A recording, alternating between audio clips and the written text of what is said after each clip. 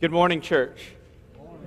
It's good to see each of you uh, this very cold Sunday morning in, uh, at Collierville United Methodist Church. But I'm so happy that you decided to bundle up and to be here.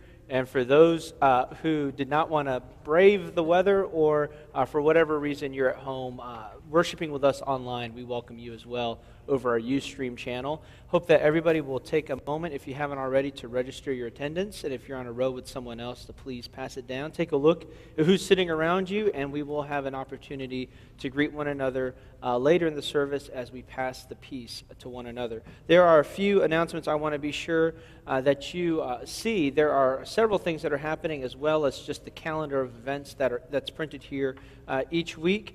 This Tuesday, uh, in, in preparation for the season of Lent and our Ash Wednesday service, we're going to have a Fat Tuesday celebration.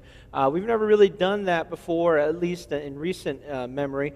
So, this is going to be mostly for our youth and our uh, children and our young adults and their families and hope that you'll come for a pancake dinner at 6.30 here at, uh, at the servery at the church we're going to be doing some other things around the building but you can see the information there about our fat tuesday celebration and uh, like I said, it's in preparation for Ash Wednesday. And Ash Wednesday service is going to be taking place here in this sanctuary at 6:30 p.m. And I hope that you'll come for that. If you know an individual who uh, perhaps they cannot make it to church on a Sunday morning, uh, they're a, a, traveler on the weekends, then uh, then go by their house, pick them up, bring them to this service on Wednesday, the Ash Wednesday service, as we get into the right attitude for uh, how we're going to spend Lent together.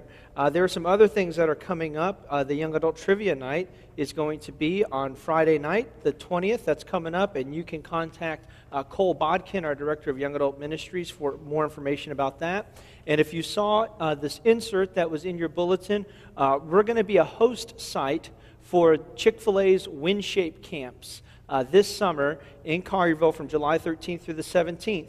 And Elena Yanis is our uh, person on staff that you can contact for more information about ways that you can help out. If uh, you're good at any of the skills that's listed on the back of that card, she's especially looking for those folks. Or if you're uh, great with contacting people in the community, networking, uh, can, uh, contacting folks who might be able to give scholarships for students that uh, whose families may not be able to afford to send them to camp, uh, we need everybody to help in some way if you're available. So contact Elena Yanis for more information about that WinShape Camp.